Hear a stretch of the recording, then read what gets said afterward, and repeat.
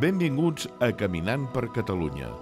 Avui tornarem a travessar la frontera perquè l'objectiu és arribar al Santuari del Coral, situat en el terme comunal de Prats de Molló i la Presta.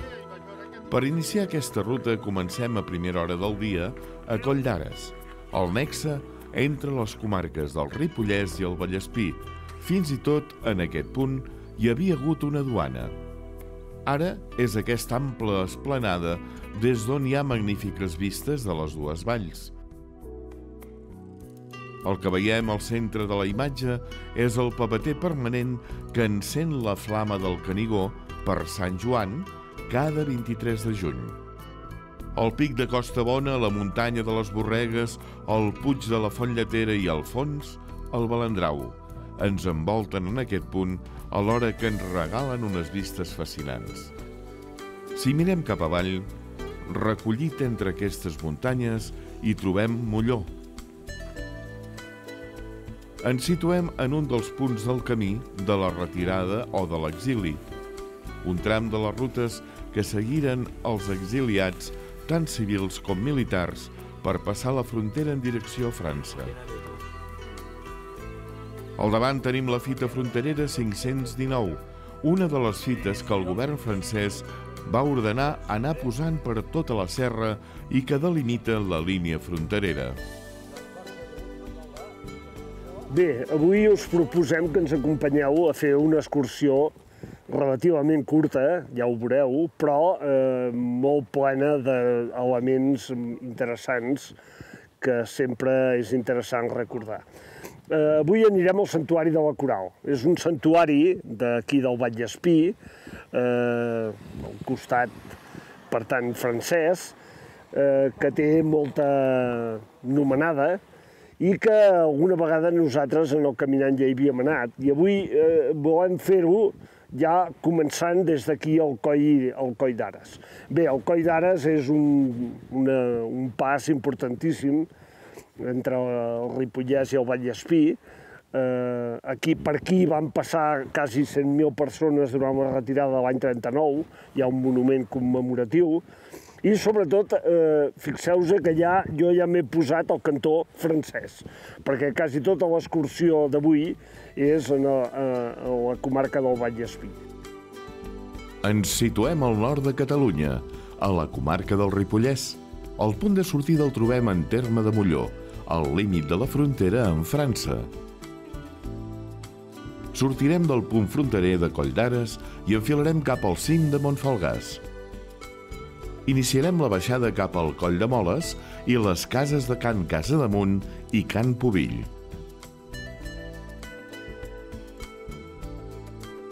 Arribarem al santuari de la Mare de Déu del Coral i tornarem ja de pujada fins a arribar al Coll de la Guilla.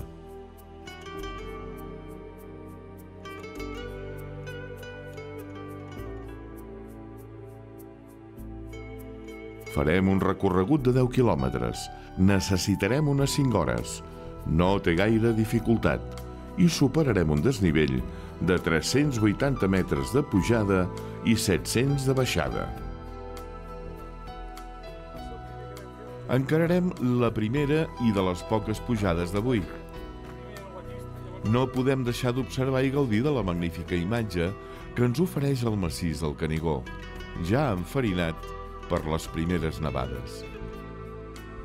Mentre continuem amb vistes del Canigó, només dir que el Ministeri francès, l'any 2012, va canviar oficialment el nom anterior escrit com a Canigou pel de Canigó, amb l'explicació que aquest es tracta d'una muntanya sagrada pels catalans. La pujada al Mont Falgars està fent suar una mica els nostres caminants. Però ja va bé, sobretot a primera hora del matí, per escalfar una mica el cos, sobretot amb temperatures de 2 graus. És en aquest punt on també comencem a trobar les primeres marques que ens indiquen com estem entrant en territori francès.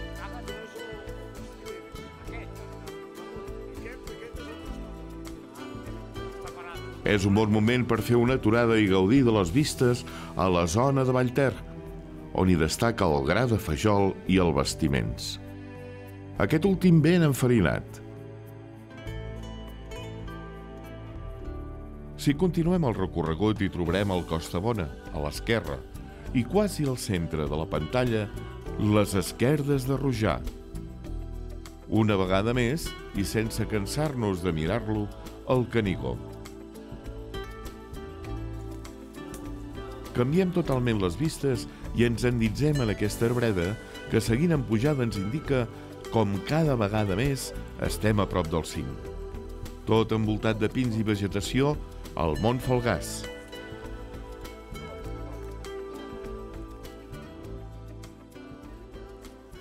Bé, com heu vist, l'excursió d'avui es converteix en molt senzilla des del moment que 100 metres més amunt de, el Coll d'Ares ja tens aquest primer cim, bueno, el cim de l'excursió d'avui. El Mont Falgars té 1.601 metres eh, i és, diguem-ne, el, el cim més alt de l'excursió d'avui.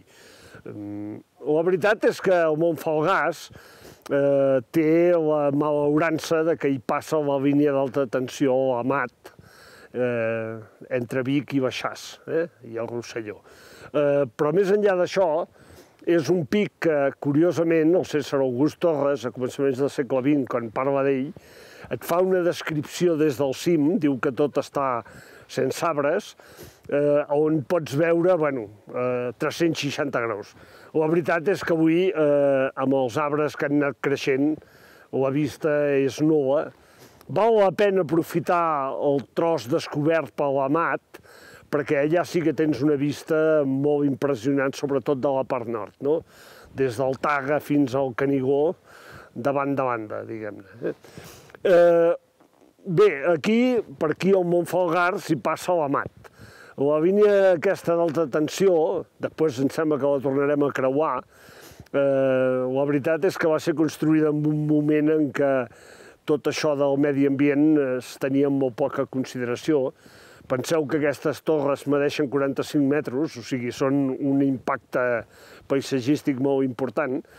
El més greu va ser que l'any 2005 es va plantejar la necessitat de reforçar el subministrament elèctric a les comarques de Girona, a la zona costanera de les comarques de Girona, i eh, amb algú se li va ocórrer la brillant idea de que en lloc de passar la mat aquesta nova que tenia que construir per les alberes, eh, desdoblar aquesta línia actual.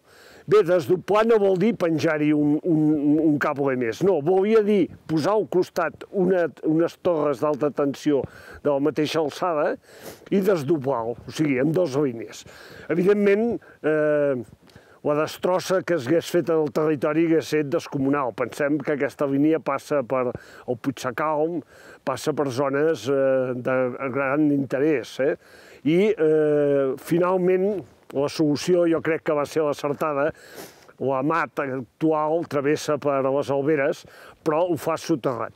És que, eh, la veritat, això de, de fer línies d'alta tensió aèries és un contrasentit, i és més, eh, econòmicament és molt més rentable segurament eh, soterrar-les totes. A veure si algun dia ens soterren aquesta. Com us anàvem dient, una vegada superat el punt més alt de la ruta, ja tot el que ens queda és anar fent baixada o caminar en pla. Sota un cel carregat de color s'hi troba el cim del Coma Negre, un essencial de la llista dels 100 cims de la FEC. Amb cruixir de les fulles trencant el silenci, els nostres acompanyants van desfilant muntanya avall. Alguns amb ajuda de les branques i d'altres sense por, de mica en mica continuem avançant en l'itinerari traçat. De tant en tant trobem alguna balconada, un bon moment per fer una aturada i veure les panoràmiques.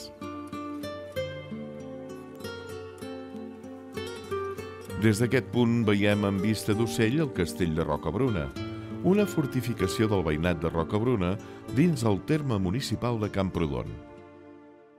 El Coma Negre ens torna a acompanyar per l'esquerra sota aquests núvols que l'enfosqueixen. Unes vistes que ens acullen i ens endinsen en aquesta ruta. En segon terme, el Puig del Bassegoda, amagat pel Coma Negre, un company més d'avui. Si continuem la pujada, tornaríem a Montfolgàs, per baixar hem fet una volta, cosa que ens ha permès gaudir de les vistes que us hem anat mostrant. I mentre continuem aquest descens i amb vista completament neta, podem continuar gaudint fins i tot del mar. Els caminants s'enfonsen en aquesta gruixuda capa de fulles i que correspon al coll de les moles. Bé, baixant de Montfalgars, eh, hem passat eh, i estem passant pel collet de les moles. Eh, és interessant aquest lloc perquè el Josep Bergaboix, el pintor i escriptor de Olot, explica un dels seus contes que aquí eh, ell hi va fer una parada eh, quan perseguien un llop. Eh, el conte es diu La cacera del llop i és bueno, un conte bastant ben resolt literàriament perquè ell sap explicar molt bé l'angoixa que té quan el deixen aquí parat, eh? esperant que passi el llop, i bueno, eh, ell va sentint els crits, els lladrucs, els, eh, per tot arreu, no? fins que li diuen que el llop ja ha marxat. No? Eh, bé, com veieu, eh, el Berga Boix, després ara que han Pubill, si de casa explicaré més la vida una miqueta d'aquest senyor, que va estar exiliat precisament aquí, aquesta casa que ara passarem de Camp Pubill.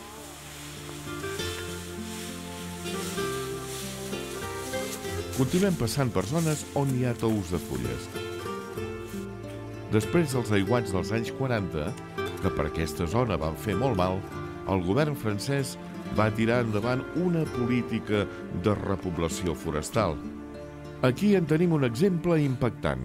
Una fageda perfectament ordenada i col·locada una a una. Seguim ara per aquest tram més ample que ens acosta fins a Can Casa Damunt. Decidim que aquest és un bon lloc per fer parada i fonda, amb un bon esmorzar. Al fons ens queda la casa de Can Pubill, on hi trobem històries de l'exili. Bé, us he explicat que el Josep Berga Boix, el pintor i escriptor d'Olot, eh, ens explicava això de la Casa del Llop. Aquesta casa d'aquí, de Campovill, el, eh, era un lloc de refugi o d'exili per eh, els carlistes que quan tenien que marxar, diguem-ne, d'Espanya. Ell explica que l'any 74, precisament, quan explica la història de la cacera del llop, ell eh, vivia aquí, fixeu-vos que està a quatre passes de la frontera, perquè, és clar, eh, el Berga Boix i el Vaireda eren carlistes. I per tant eh, segurament Olot estava ocupada pels liberals i per tant ells eh, venien cap a aquest cantó eh, eh, a viure. Ell explica coses de la família d'aquí, és, dintre del conte, diguem-ne, és interessant, i sobretot veure com aquest exili, aquesta frontera artificial dels Pirineus, eh, bueno, sempre ha set, eh, fins als últims anys, ha set molt permeable.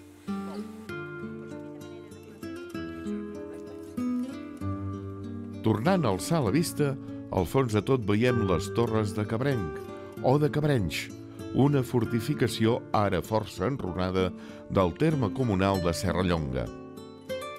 Ja al fons de tot queda el cim que hem anat fent.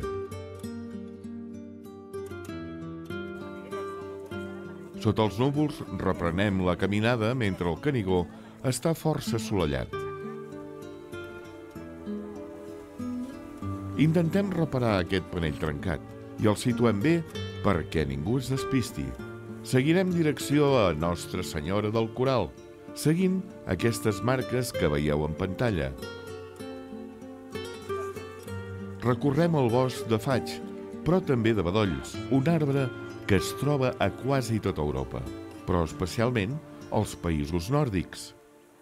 Principalment és el faig qui ocupa aquest territori, probablement en conseqüència de la replantació dels anys 40 que fa una estona us havíem citat.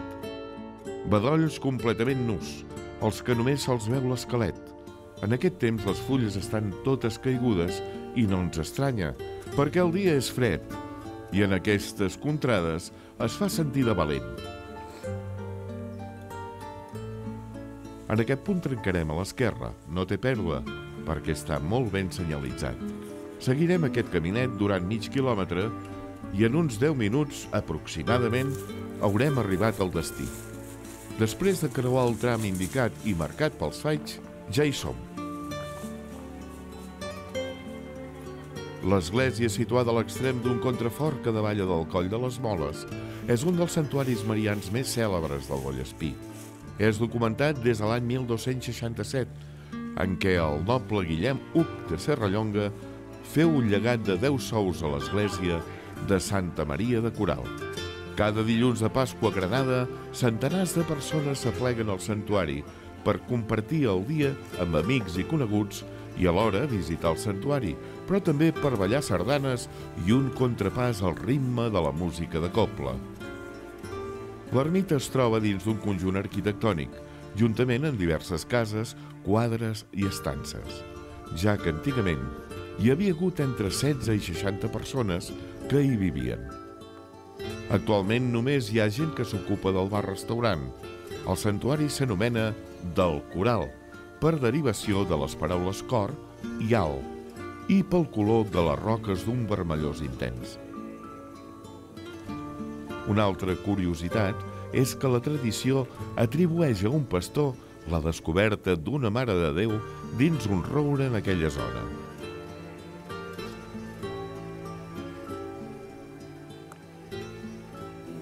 Aquesta Mare de Déu és una Mare de Déu trobada, diuen que la va trobar un pastor amb un roure, mm, per tant, diguem-ne, forma part d'aquest pilot de Mare de Déus trobades que existeix al nostre país, i era molt, una verge molt estimada per dos grups de persones una miqueta, bueno, eh, heterogenis. Per un cantó els pastors i per l'altre els caçadors, no?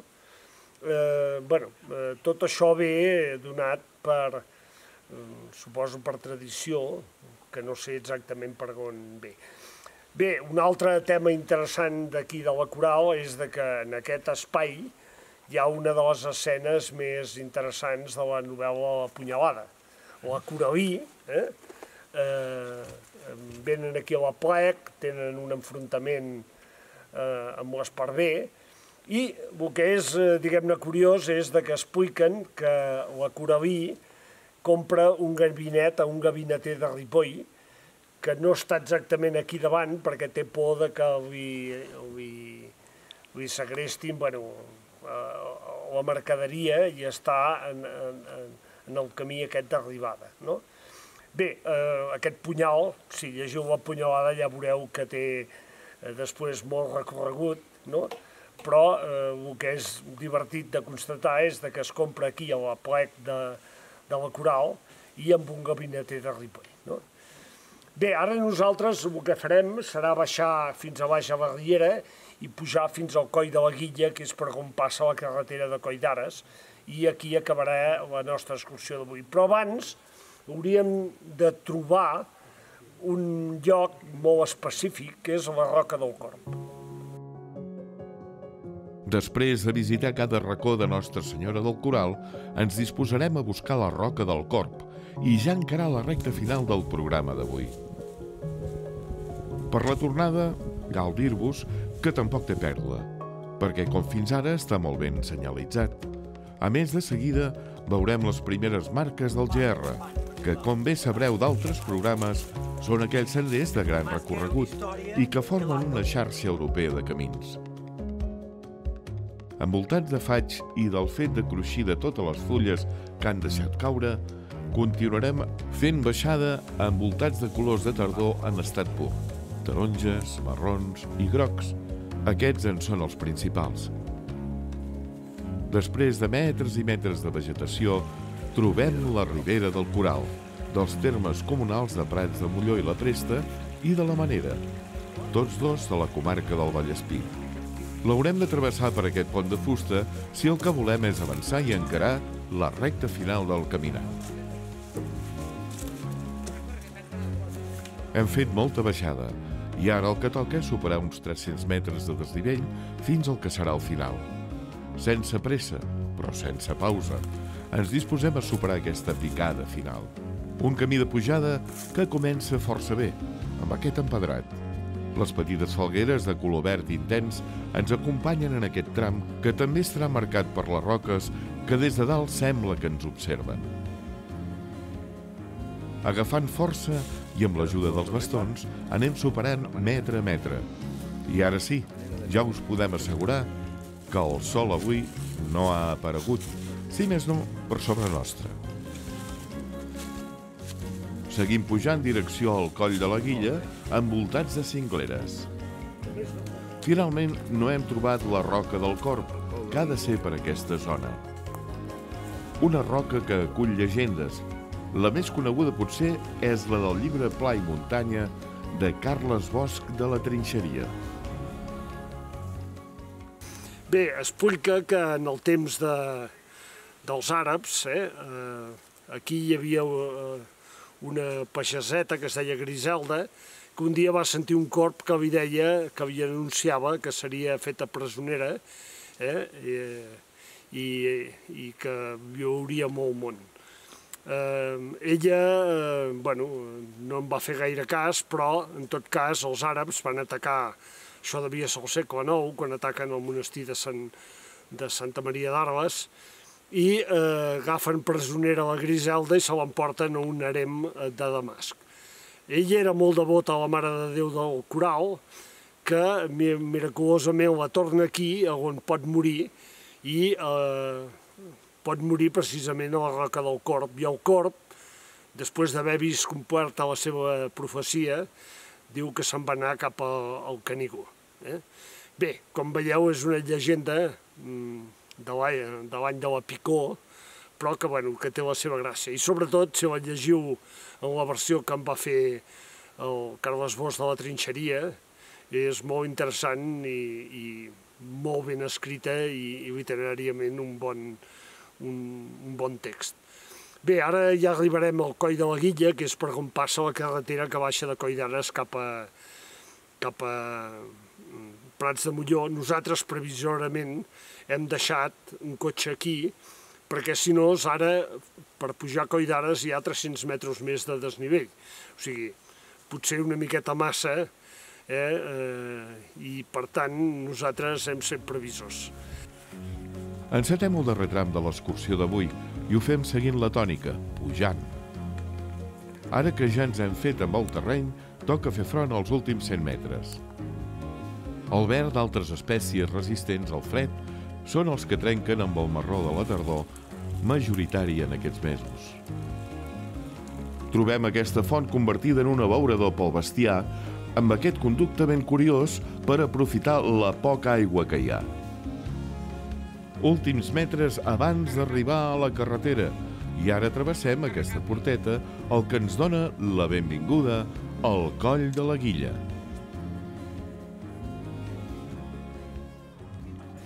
Bé, com veieu, ja estem a la carretera de, la, de Coll d'Ares, de, de Molló a Prats de Molló, el Coll de la Guilla, ja baix hi ha el lletrero.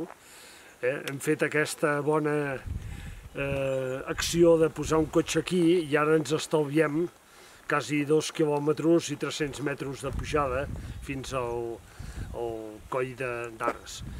Com veieu, l'excursió d'avui era molt centrada en el santuari del Coral, que, com heu vist, té un predicament molt, molt important en tota aquesta zona i que és una llàstima que, per exemple, avui estigui tancat i perquè tots aquests actes religiosos, en, en el seu principi, eren uns actes de confraternització i de relació i de comunicació entre comunitats a cada banda de la muntanya molt important.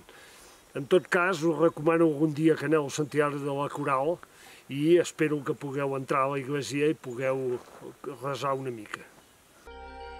A 1.193 metres d'altitud se situa el Coll de la Guilla, a mitjana distància, com indica el cartell, entre la vila de Prats de Molló i Coll d'Ares. Serà des d'aquí, des d'on ens acomiadarem del programa d'avui. Esperem que us hagi agradat tant com a nosaltres. I ens tornarem a veure en el pròxim programa, que serà, com sempre, tot caminant per Catalunya. La baixada la retirada